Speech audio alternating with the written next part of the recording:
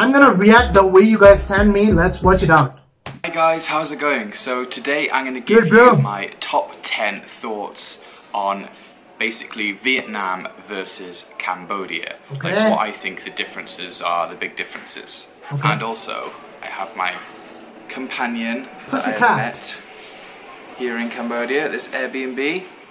I've Hey. named him Dave. Hello Dave. That's so cute, man. Wave to the people. Okay, so let's get started. Number one is the roads in Vietnam are a lot crazier than in Cambodia. Now, for Oh. obvious reasons, this is Shout out because to Cambodia population in, in this Vietnam is so much more. There's like 75 million more people in Vietnam than in Oh. Cambodia. And another reason is bikes are so cheap and they Hmm. recycle their bikes a lot. Like their bike will be with them for a lifetime. They'll just keep fixing it and fixing it, fixing it until one day it just completely dies. And then they'll probably just take parts off that for their other bike. So yeah, bikes are so cheap. Number two is the cost of visiting attractions in Vietnam are so much cheaper than in Cambodia. But the only problem with Vietnam is you may go to like museums which aren't fully in English. They're only like tiny little parts in English, so you kind of don't get your money's worth. But you do kind of get your money's worth here in Cambodia, if that makes sense. Like the attractions aren't that good in Vietnam compared to Cambodia, so you So kind of in pay this more in in this Cambodia, part, Vietnam. which is fine. The museum we did actually go to in Phnom Penh wasn't actually that good. Number 3 uh-huh. the coffee comparison between Vietnam and Cambodia. There is no comparison really. Like Vietnamese coffee is amazing. It's probably the best coffee I've ever ever had in my life. I've even tried Seriously? like Luwak coffee and Blue Mountain coffee from Jamaica which like they're two of the biggest in the world so yeah it beats that hands down number four Okay. cambodians are really really good at speaking english Hmm. doing dave what are you doing That's I really totally agree with this brother that Cambodian people are really good in English. How can I say that? Because um, this is just I can say because of my channel is only English because I only speak English. I don't speak uh, Cambodian language. But so many of you guys, I mean, most of the guys you understand and you do comment. So that really approved that you guys really understand really good English and that's really good. So in this time, Cambodia, especially in the tourism industry cambodians are really good at speaking english. I would say better than the vietnamese in the same sector. They just seem to like speak it better here. I don't know what the reason for that is. But yeah i mean the vietnamese what do you want? Vietnamese are really good as well. Number five vietnam wins on cleanliness. In cambodia it's kind of still smelly and dirty and they really do have It's a because I know that they really need to some of you guys told me that it's and stuff instead of just leaving like under construction. bags in the street for like the rats and stuff. So yeah, that's probably I'd say that's their biggest problem is like sort of cleanliness in the streets. Number six, the people Number in both countries are equally as nice and welcoming. Like they're really, really nice people. I would say the Vietnamese are kind of more inclined to rip you off for say a bottle of water on the side of the road or something that doesn't have like the price written down. They're more inclined to sort of rip you off with that. I'd say the Cambodians so far seem to just be like, right, that's that price, that's that price.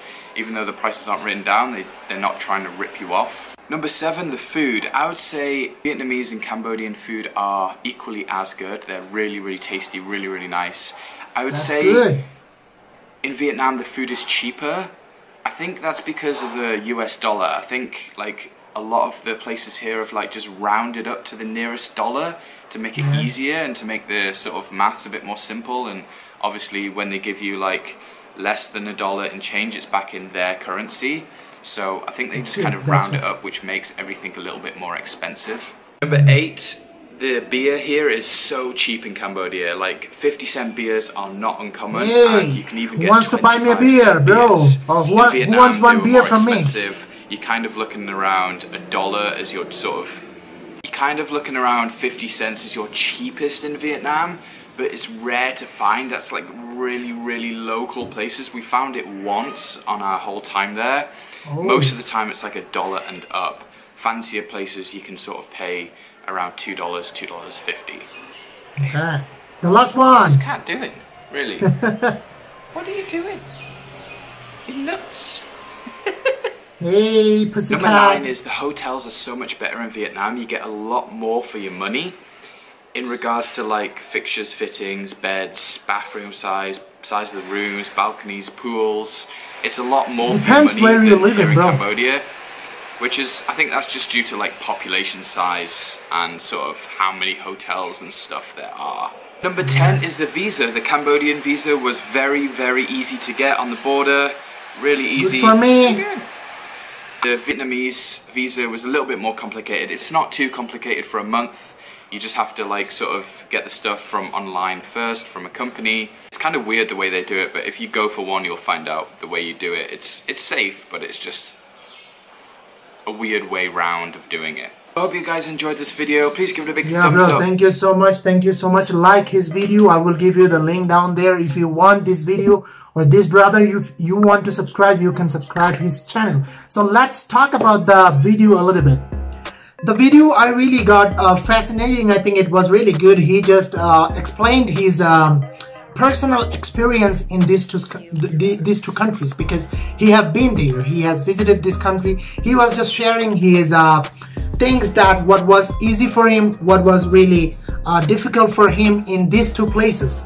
So thank you so much, brother. I uh, really appreciate this video, and those of you guys have suggested me this video because I knew a lot of things there are so many things it's not really that difference i think they are kind of same they look also alike the vietnamese people the people of thailand the people of cambodia they look also the same and some good things and some bad things are really happen in every country uh, in this part they, he said so many good things about cambodia some not bad things some uh, negative things about uh, cambodia he said some good side about uh, Vietnam and some bad side about Cuba. So this is the way all countries are. Even in America, no country is really complete. But the thing he said that uh, the Cambodia was kind of smelly and dirty is just because I think some of you guys told me in my previous reaction video that it's the whole country is under construction because there were some kind of uh, war or something uh, 30 40 years back and some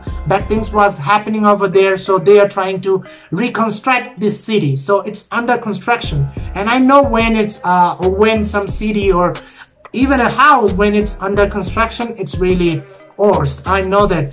And the food is awesome he said both of this country and the hotels are also good and cheap. That's really good for a person who is outside of this country and who want to go there. And the getting the visa is also easy he said so that's really good. I'm really being fascinating more about these countries.